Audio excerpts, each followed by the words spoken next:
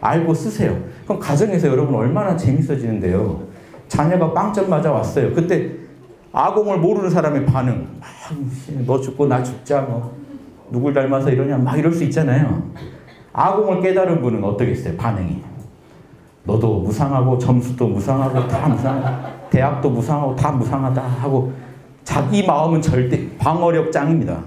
절대 괴롭힐 수가 없어 이분은. 무상한데 무상하다고 놔버리고 몰라로 들어가 버려요. 알아는 못 당합니다. 근데 법공을 깨달은 견성자는 또 달라요. 이 또한 참나의 작용일 뿐. 너가 주인공이니 잘 경영해 봐라. 그런데 문제는 법공에 법공에서 끝나면 안 돼요. 법공의 극치인 구공이 있어요.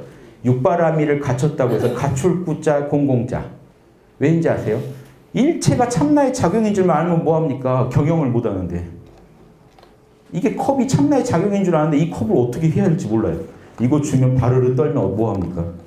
척 받아서 탁 알아서 제 용도에 써야 되잖아요. 그건 육바람이래요. 육바람이를 모르시면요. 현상계가 일체가 참나의 작용인 줄 알아도 돈 지어주면 바르르 떨어요.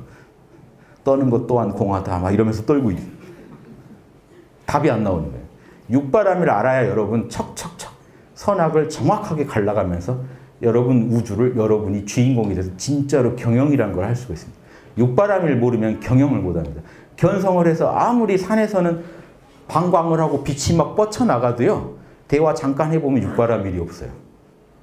편견에 가득 차 있고 남 배려도 못하고 정확한 그 자명한 얘기도 못하고 자기 아는 것만 막 이렇게 외워서 하고 있고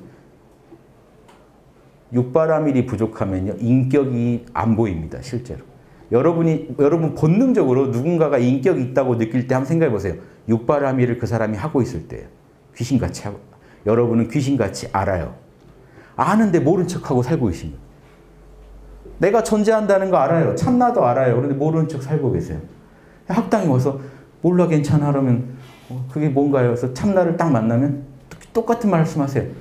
이거 늘 있던 건데요. 당연히 늘 있죠 참나가. 참나가 어디 밖에서 들어왔겠어요? 여러분의 진짜 여러분을 말하는데 참나라는 건 늘 있던 그거고 육바라밀도 여러분 다 알고 계신 그거예요. 제가 실험해 보면 준우도 다 알고 있어요. 하기 싫어서 그렇지? 알고는 있어요. 그래야 하는 줄 알아요. 신기하죠? 다 알고 있어요. 가르친 적이 없어요. 육바람을 알고 있어요. 근데 알고는 있는데 하고 싶게 만들면 그게 이제 훌륭한 교육이죠. 보살도도 그래요. 중생들도 다 알고 있는데 훌륭한 중생으로 이렇게 보살로 배양이 안 되고 있을 뿐입니다. 제가 아는 말씀드린 요거만 아시면 돼요. 아공, 법공, 구공까지만 아시면 더 알아야 될 게 없습니다.